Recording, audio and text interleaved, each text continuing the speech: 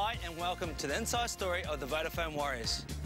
I'm Monty Betham and tonight on Vodafone One Tribe TV in our mate versus mate challenge, Jesse Royal and Russell Packer battle it out on the barbecue. Oh, medium rare, Jess. Yeah, I think you put it on a bit too early there, mate. Don't worry, I still like it running around, but it's all right. Prankster halfback Nathan Fien is up to his old tricks. I tackle everything! And the little general, Stacey Jones, is back for the Vodafone Warriors for the first time in three and a half years. We catch up before Stacey's comeback match and find out a few little secrets about the Subway King.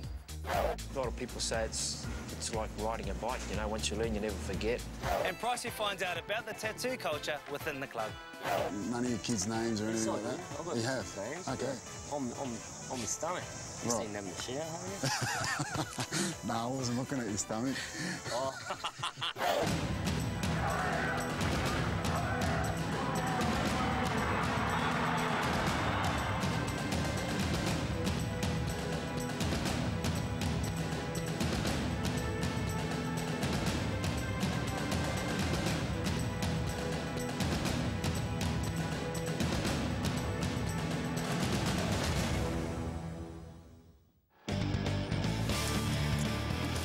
G'day, it's Michael Luck here from the Vodafone Warriors. Now, I know you usually expect Steve Price in this segment, but I just got a text from him. He says, Lucky, I got hit in the throat yesterday and I'm not going to make it back in time to film the segment. If you do it, I'll give you a month of my pay. What can I say? I love money. So here it is, Pricey's Weekly Wrap by Lucky. It's got a good ring to it. Been a pretty full-on week around here after the Eels game. Even though we won, we still trained pretty hard during the week, and then the boys were off to Manly on Saturday to play the defending premiers. Last year, Manly beat us four times in four attempts, including the biggest defeat in our club's history. But on Sunday, the boys got revenge. The game was awesome. We fought back twice from big deficits, and the result could have went either way right up until full time. I thought all our guys played really well. Our captain Pricey was great as usual, going forward at every opportunity, and he was supported pretty well by all the young guys around him. Brent Tate scored a few tries, which I know he'll be happy about. I thought Wade McKinnon was outstanding at the back. And who could forget the little general? The game was well and truly in the balance when Stacey came onto the field, but he grabbed the game by the scruff of the neck with a few outstanding plays and almost won the match alone.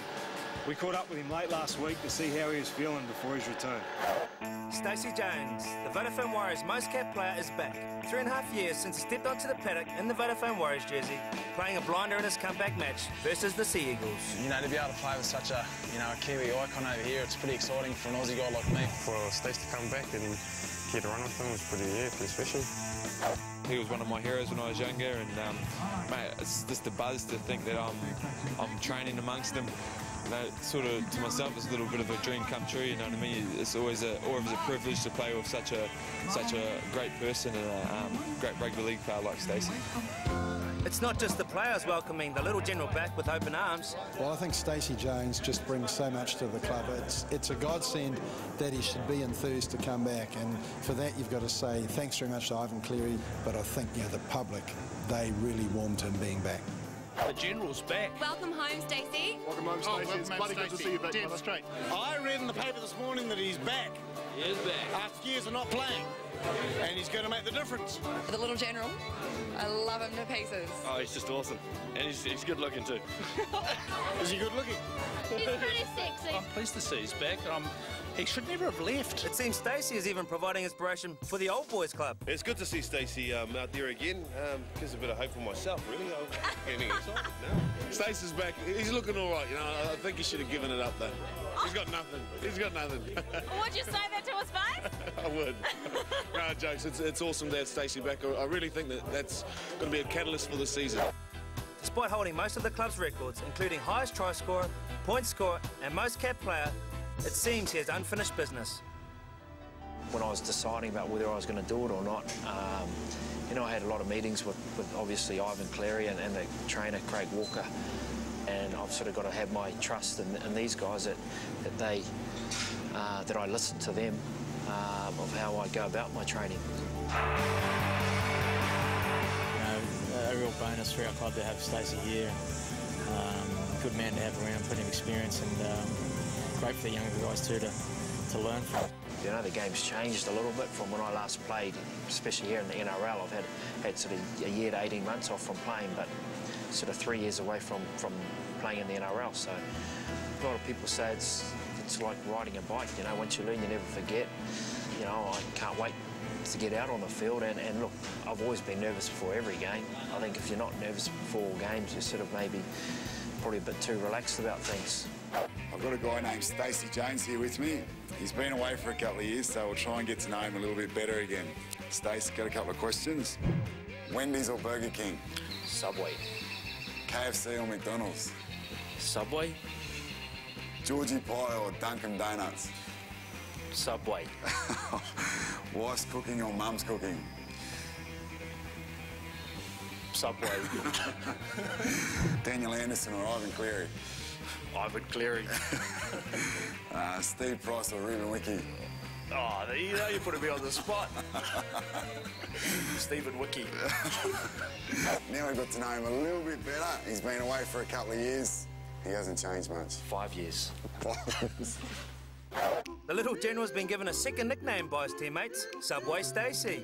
Let's find out why. Hey bro, how's it going? Stacey Jones here, welcome to my Subway. Come with me, we'll go check it out.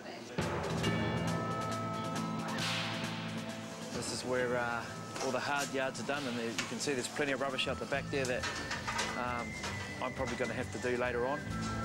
Here's the, uh, the main boss, um, making my lunch.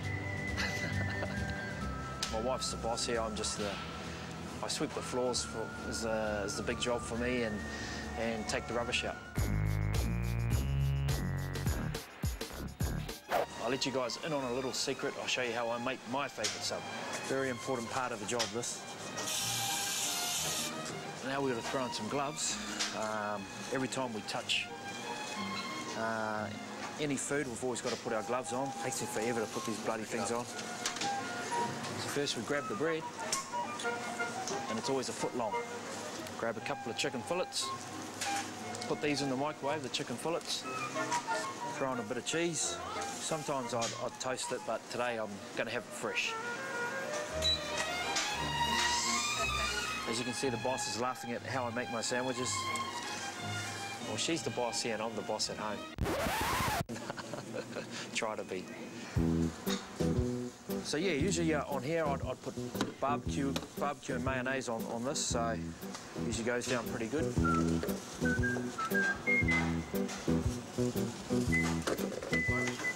Mayonnaise goes good together with the chicken fillet and finish it off with salt and pepper. This is a job I find very hard. See, it's all falling out. My wife's here most of the time. I guess the, you know, like obviously today's a day off for me and I'm in here trying my, trying my bit, even though I probably slow things up. Uh, what sauce you on on that, mate?